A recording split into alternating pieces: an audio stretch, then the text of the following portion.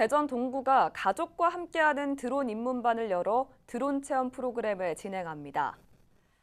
드론 축구와 항공 촬영, VR 드론 체험 등 드론을 소재로 부모와 자녀가 함께 자격증을 취득하는 등 다양한 체험 프로그램으로 이루어졌습니다.